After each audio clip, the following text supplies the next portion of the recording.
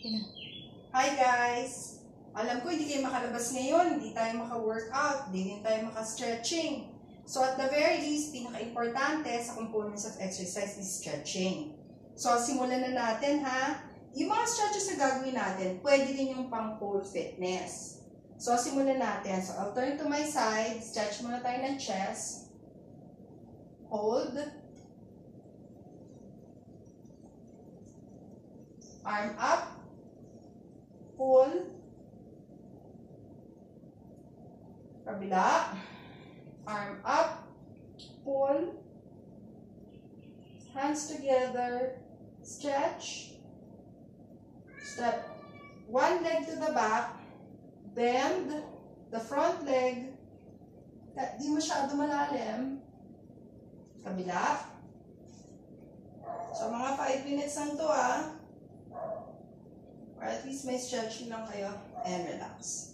So, na-stretch na yung ano natin. Ganito natin. Dagdagan pa natin. Step. Bend. So, kahit walang pole, ito din yung mga stretches na ginagawa natin sa pole. Bend. So, ibig na pole yung hawakan natin, pwede naka-anchor tayo dito sa side ng And relax. Forward bend. Bend. Ganito muna. Look up. Hands higher. Ocho, ocho. Bend the knees. Ocho, ocho. Para sa likod. Upper body rotation. Counter. Hip rotation. Counter. Wrist. So, lahat ng joints, neck, kahit half.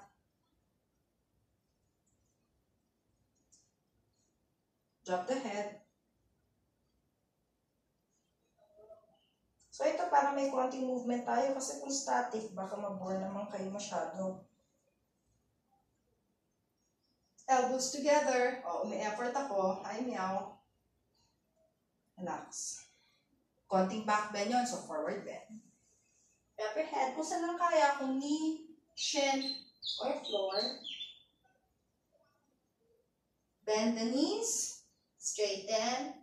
Bend the knees, and straighten. Tama? Wide legs. Parallel, parallel legs. Siyempre, kailangan ni Meow na sa gitna. Hello daw. Namimiss na raw ni kayo ni Meow. Drop the hands. Drop the head. Hands to the back. So, nilagay ko yung kamay ko sa likod. Drop your head. Look through your legs. To one side. Bend the elbows. To the other side.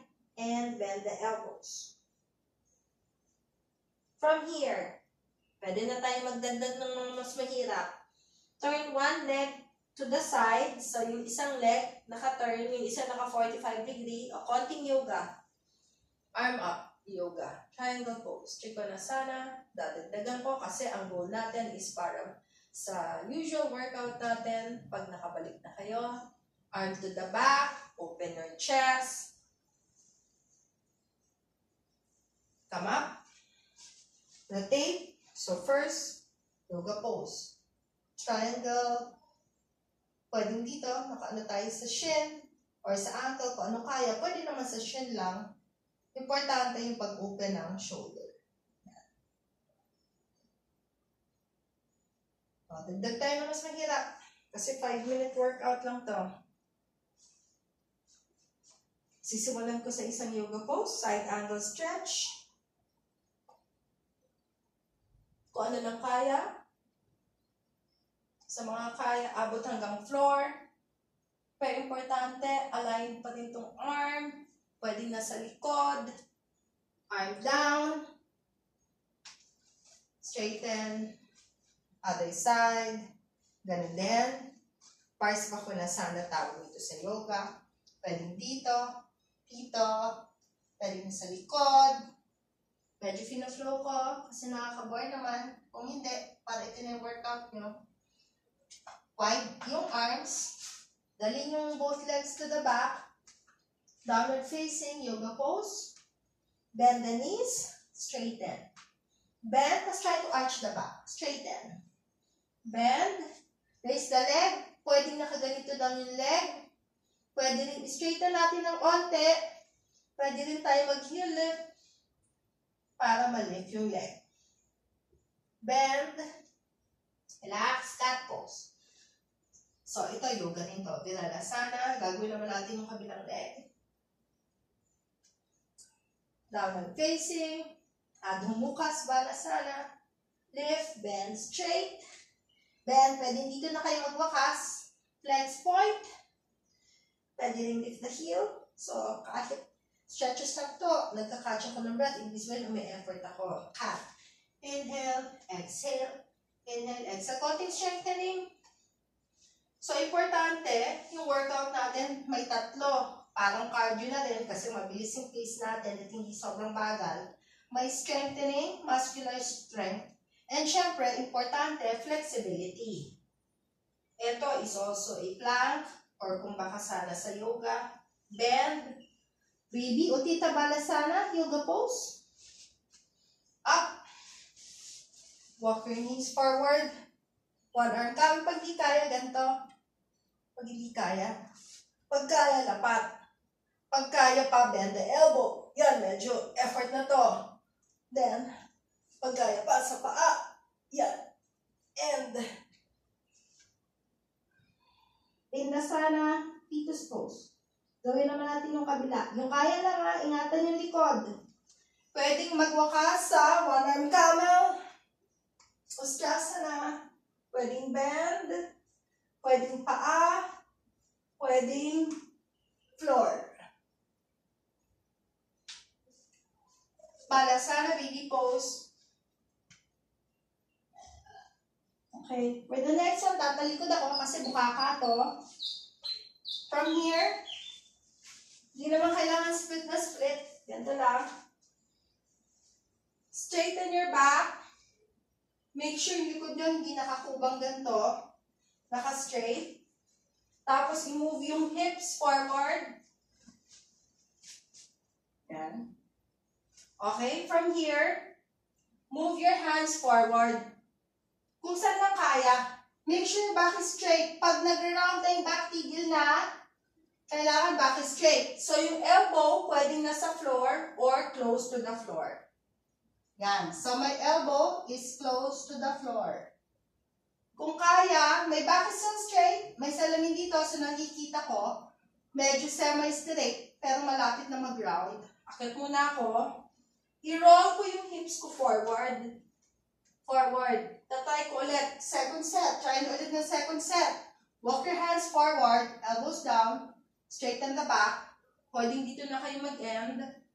Walk your hands to one side. Slowly. Reach for your foot. Kung hindi kaya, sa knee, sa shin, or sa foot. Walk your hands to the other side. Malapit na ata tayo mag 5 minutes. Ilang minutes na tayo ng knee? 8 na nga. O sige, gawin natin 10. Tapos gagawa ko ng isa pang video na pwede niyong gagawin. I-alternate niyo itong dalawa. So, yung itong kamay nyo, lagay niyo opposite. Dip niyo yung shoulder niyo to one side. Dip.